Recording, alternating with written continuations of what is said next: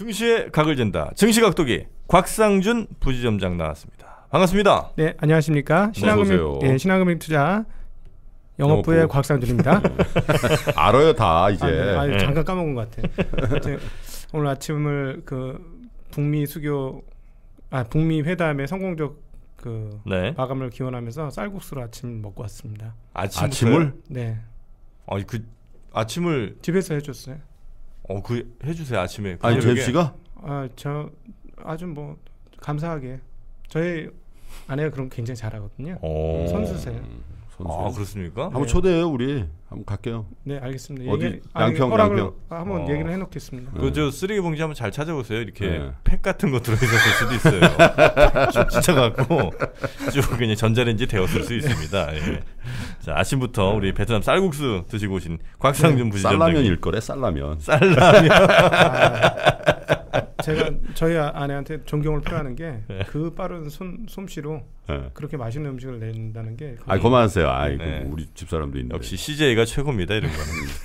자 오늘 어, 증시 각도기 또 제주셔야죠. 음. 네, 오늘 어, 위험을 무릅쓰고 저 이런 짓안 하는데 네. 아, 그 지난 이틀간 많은 그 청취자분들이 충격과 공포 속에 있으셨더라고요. 음. 아니 근데 격려가 더 많더라고. 네, 아, 어, 너무 누가 누가 감사하고. 각도기를 뭐 아, 그동안 쌓아놓은 게 있기 때문에 그러니까. 뭐 하루 정도 틀렸다는 게 아무 의미가 네, 없어요. 너무 너무 너무 감사하고 네. 그런데 뭐 이런 이런 거 뭐 별로 의미는 없다고 저는 개인적으로 생각하는데 오늘 장의 각부터 재고 한번 시작을 하겠습니다. 근데 오늘 장은 소폭 하락 하락으로 출발한 다음에 네. 음. 한 약간 상승으로 끝나지 야, 않을까. 근데 난 진짜 네. 이 사람 이해를 못 하겠는데 원래 원래 그런 겨울을 당하면 며칠 쉬거든. 야 근데 그 더 디테일하게 각을 재냐? 야. 야, 씨. 오전엔 약간 빠졌다가 오후에 아 진짜 멘탈 진짜 이상한 사람이다 저. 아, 이유가 있습니까? 오전에 빠졌다가 오후에 올라가는? 어, 오늘 미국 시장이 전반적으로 소폭 빠졌고요. 네. 소폭 빠졌고 그 다음에 그 인도하고 파키스탄하고 좀 분쟁이 하나 있었잖아요. 음. 그러니까 고구에 대- 따라서 아. 시- 심리적으로 약간 위축돼서 시작할 수 있어요. 파키스탄. 네. 네. 네. 그러나 그러나 심각하더라고 거기도. 네, 그러니까는 이제 항상 그 지정학적 리스크에 대해서 생각하실 때는 음. 딱 봤을 때는 음. 오 이거 되게 심각하네. 음. 음. 심리적으로는 그래요. 음. 근데 전통적으로 이것은 주식시장의 이런 지정학적 리스크는 별로 크게 영향을 미치지 않았습니다. 음. 네. 음. 그래서 별반 일 없이 끝날 음. 것인데 음. 일단 그것을 본 뉴스들은 아침에 이제 봤으니 음. 사람들이 어 이거 분위기 안 좋겠다 하고 좀 쪼는 분들이 있을 거 아니에요. 네. 음, 음. 그런 분들의 매물이 나온다면 소폭 빠져 시작할 수 있고 거기다가 음. 미국 시장이 소폭 빠졌으니까 음흠. 그럴 수는 있는데 기본적으로 한국 시장이 최근에 오른 게 없고 음. 음. 어, 그래서 복원력은 가능하고 그 다음에 한 오후 2시가 넘어서면 그냥 근거 없이 음. 미중 아 미 북미 회담에 대한 기대감들이 올라올 거예요. 음. 네 그러면서 어, 조금 회복되지 않을까 싶고 음. 기본적으로 어, 그 주요한 변수들은 한국 증시에 나쁘지 않아요.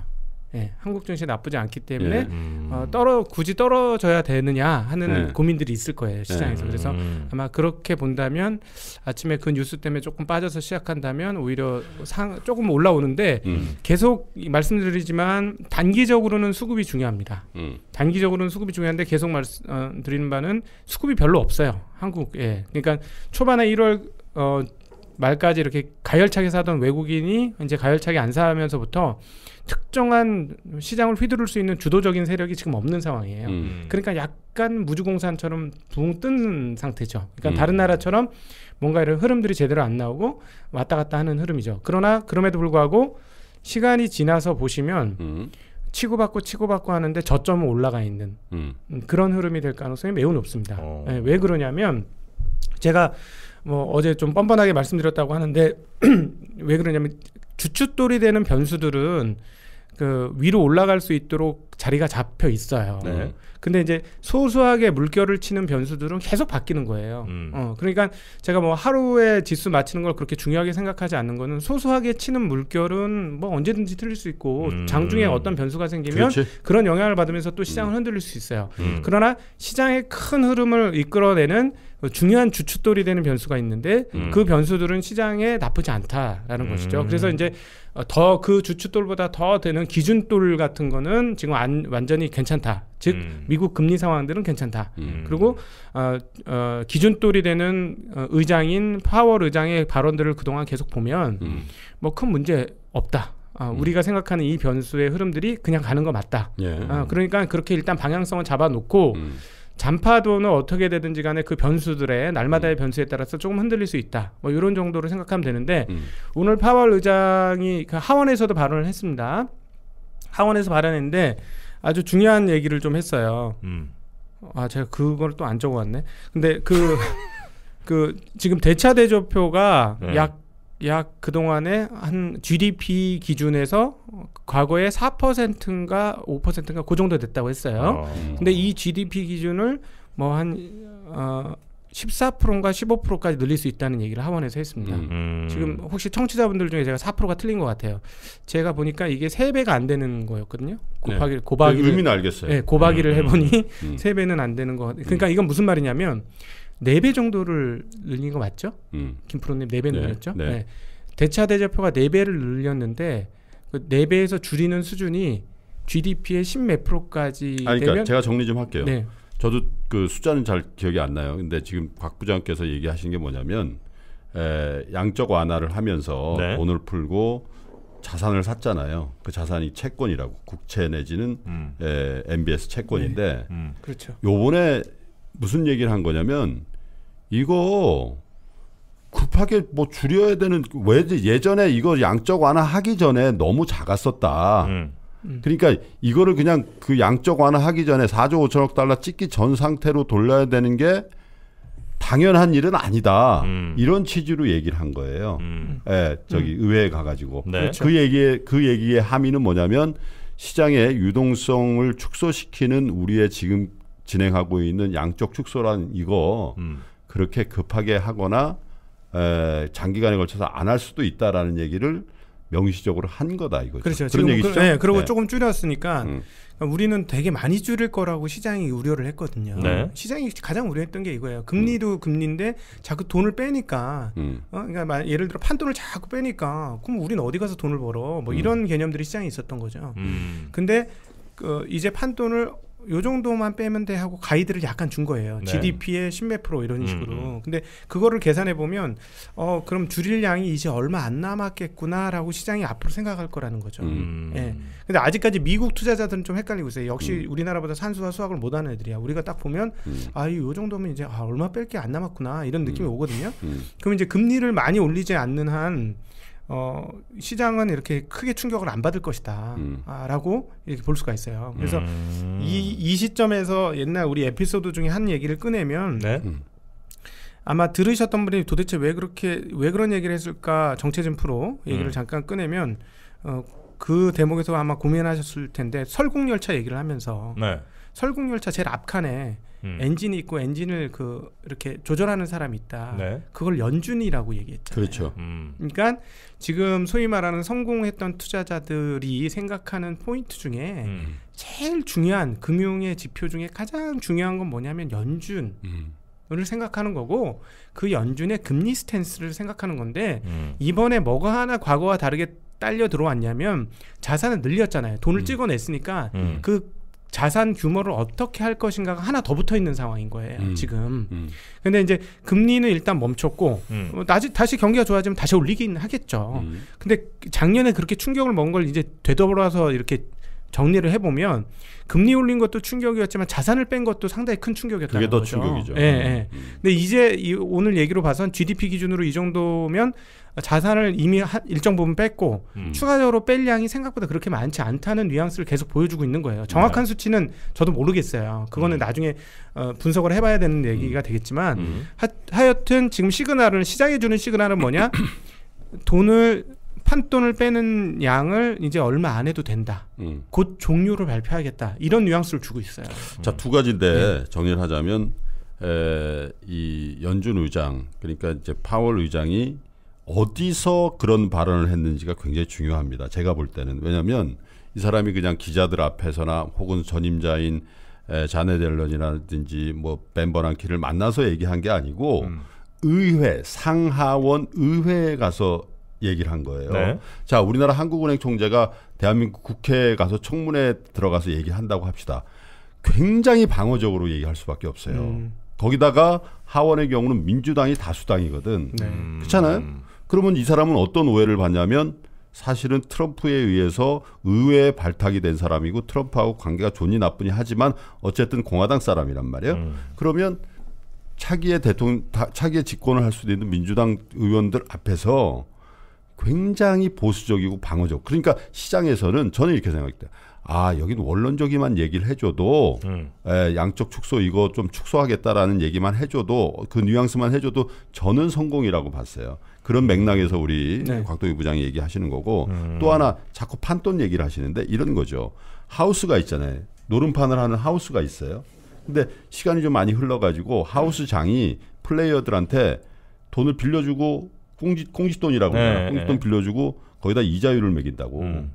아 이거 마- 이제 다- 판도 가열차고 아 그러니까 이자율 좀 올리자. 어? 음. 나 이번에 1부야. 근데 2부였어. 1부였어. 근데 2부다. 2부 이자다. 어차피 할 수, 그게 이제 거다 금리 하니까. 인상인데 그럼에도 불구하고 보니까 아이고 이게 경찰 단속도 뜰 수도 있고 물론 얘가 좀 그렇긴 한데 야 요거 좀 판돈 좀 슬슬 좀 내가 내 네. 주머니 긁어 놔야 되겠다. 음. 혹하면 튀어야 되니까. 네. 그게 더 사실은 사실은 노름판에 그 행위가 더 안 좋은 거예요. 왜냐하면 판돈이 줄어들잖아. 전체 판돈이. 아 그렇지. 그럼 독이 더 오르거든. 네. 줄어든 판돈을 내가 더다 먹어야 되니까. 네. 네. 그 얘기를 하는 거예요 지금. 음. 아, 맞죠? 이럴- 네, 이럴 때 네. 보면 우리 김프로님이 음. 넓기만 한 게 아니라 깊이도 있으신 것 아, 같아요. 도박을 좀 오래 했어요. 근데 그 예는 별로 안 아, 좋았던 네, 것 네. 같고요. 하이로는 좀한 하이로. 네.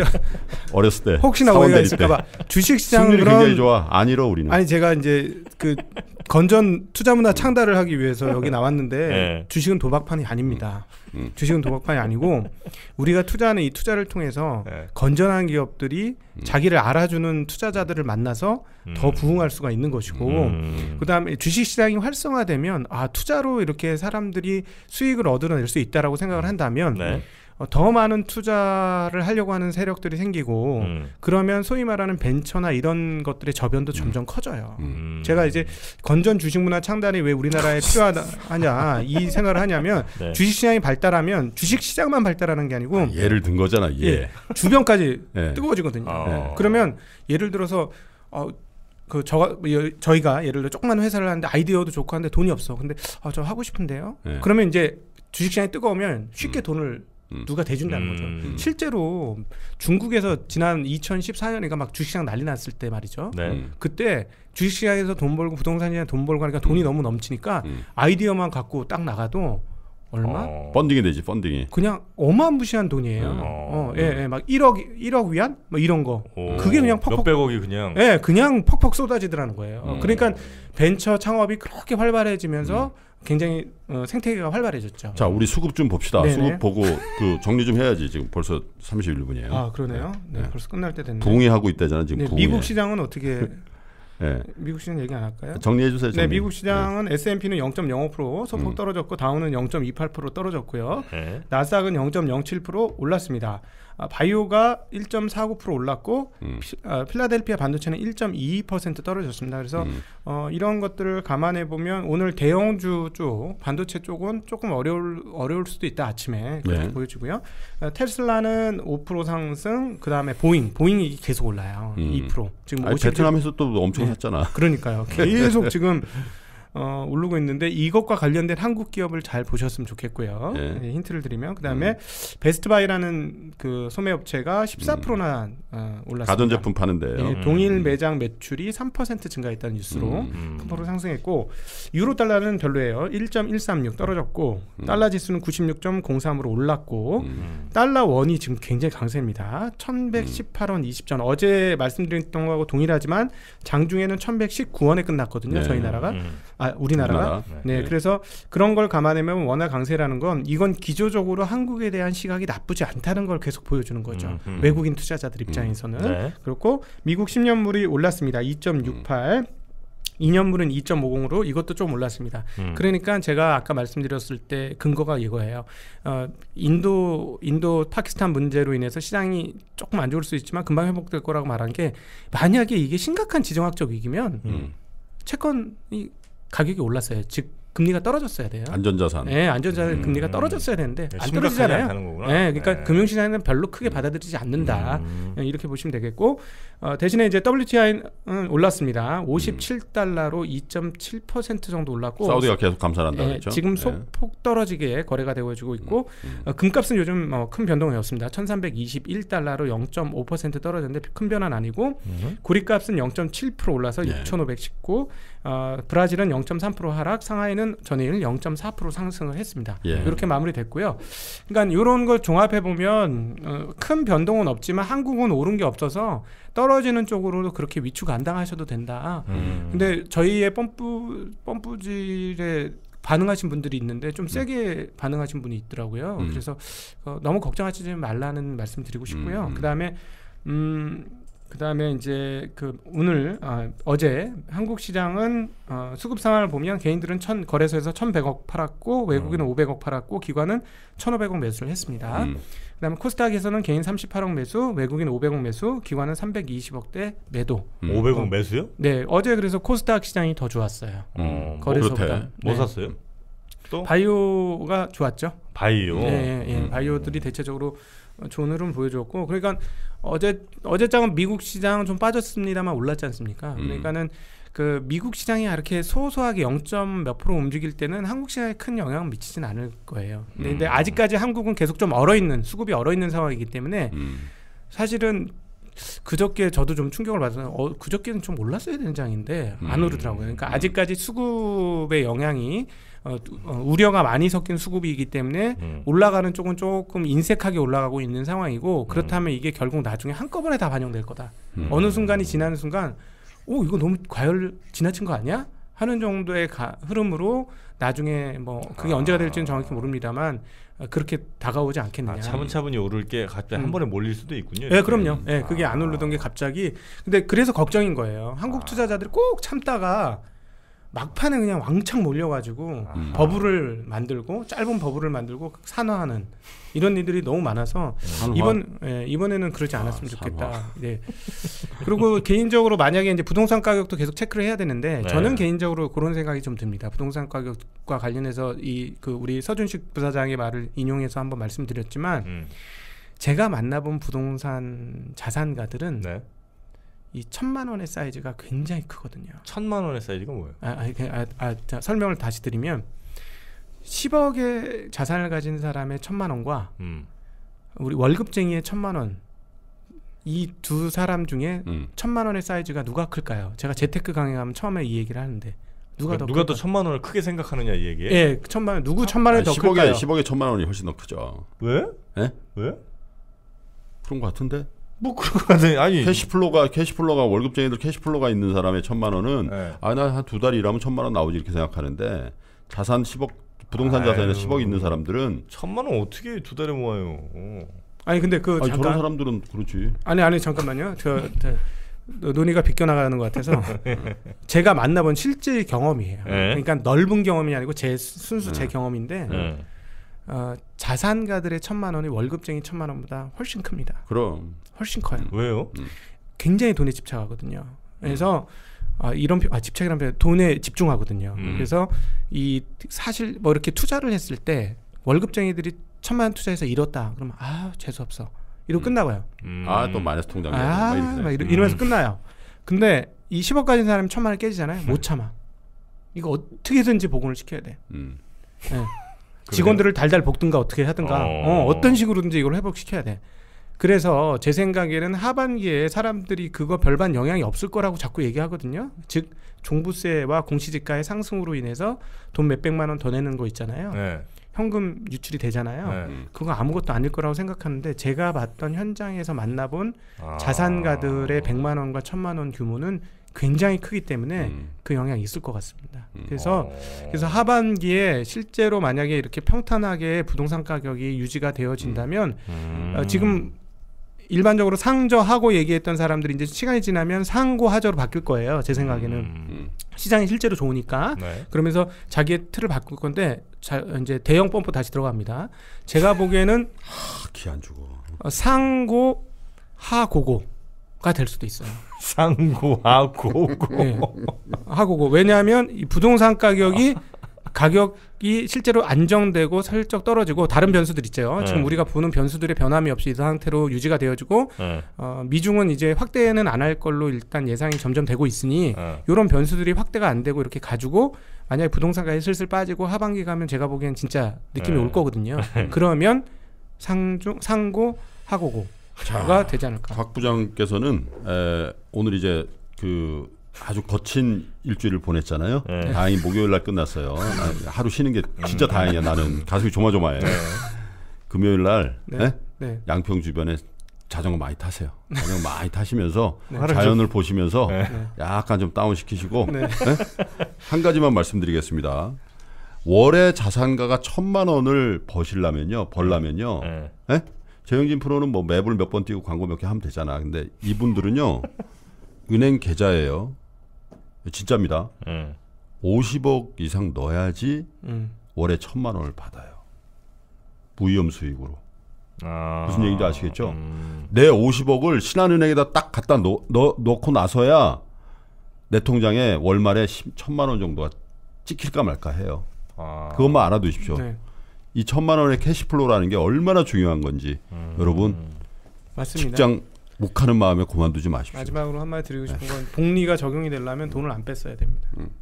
나중에 다시 한번 그렇죠. 말씀드리겠습니다. 네네네. 네. 자 얼른 우리 네. 곽상규 교수님 고맙습니다. 네, 오늘. 고 하세요. 고. 네, 감사합니다. 네. 자 우리 음. 곽독이 어, 또 곽상용 부지점장 의 이야기는 그냥 참고 정도 하시고 너무 또 막 여기 돈 빌려서 또 들어올 생각 하지 음. 아유, 마시고요. 그럼요. 네. 그곽 부장도 이제 본인이 본인이 다 맞춘다는 개념이 아니라 그냥 각을 재본다. 당신 때문이야. 각 각도기로 얘기를 해가지고 계속 그 각- 강목까지 각 재고 있잖아. 우리 이렇게 싸울 때는 아니잖아요. 그렇지. 아, 북- 오늘 또 북한과 미국도 만나야지. 이렇게 지금 대화하고 있는데요. 자, 그럼 오늘 저희는 아, 내일 인사가 아닙니다. 음. 오늘 저녁에 다시 뵐 텐데요. 2%도 나온답니다. 네, 어, 저희 3프로가 함께 하는 아, 첫 라이브 유튜브 방송이 되겠군요. 그렇죠. 네, 어, 여러분 다 모이셔서 전과는 다른 완벽한 화면과 이 카메라 워크가 있을 겁니다. 여러분들 뭐 보실래요? 종편 보실래요? 음, 저희가 있습니다. 음. 공중파 보시겠습니까? 저희가 있습니다. 아, 저희가 뭐가 딸립니까? 아, 또 그만 좀 하세요. 이제 너무 너무 나갔다.